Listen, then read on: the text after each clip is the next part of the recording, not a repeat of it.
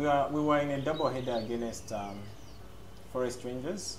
Uh, early kickoff, the game which started around 13 hours, uh, which saw another game being played by Zesco United and Power Dynamos Football Club.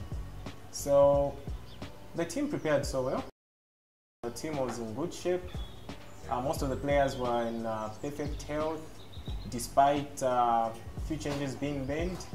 Of course, uh, we are lacking the services of uh, Terry Mwashi, who uh, who had a minor injury on the uh, shoulder on the shoulder and uh, was ruled out for the week 25 fixture against Forest Rangers. Yeah, we're also lacking the services of uh, our defender Kiyaku, and um, those were some of the few changes that were, were made by the coach. Uh, the coach had made some few changes to replace uh, the few players that weren't available for the 25 game in Ndola.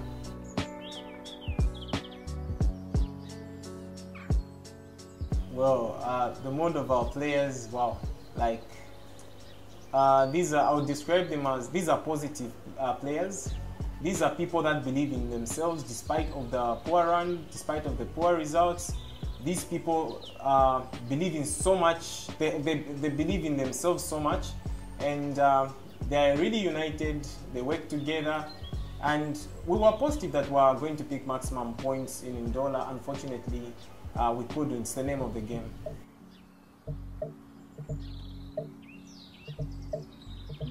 Wow, the turnout was alright. We had uh, a lot of diehards, very positive diehards supporters from uh, Lumwana that traveled, including the, the club officials uh, that turned out to support our team. And um, we had other Copperbelt based fans that came to watch us. They really gave us enough support.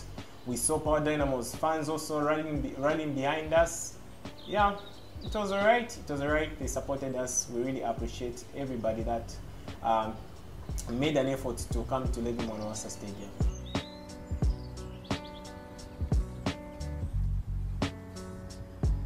Well, um, I wouldn't be the right person to to say that, but uh, losing is the name of the game.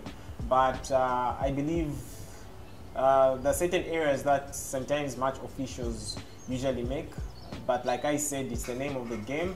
Uh, if we fail to win, it means we should do our homework very well and pick maximum points the next time. All in all, the game was alright.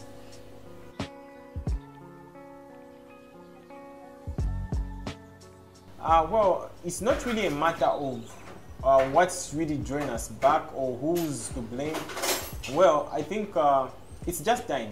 Like like any other person would say, uh, it's football. Every team is playing to win. This is the second round of uh, uh, the Super League, and every team is trying to pick maximum points. It's just unfortunate that uh, a team like Lumwana Radiants couldn't pick uh, uh, points either home or away. But I believe uh, soon the team will stabilize and uh, uh, pick maximum points. And as a matter of fact, we have a game this weekend scheduled. Uh, it's a rescheduled game against uh, Zesco United, and I'm so positive that the team is going to pick maximum points.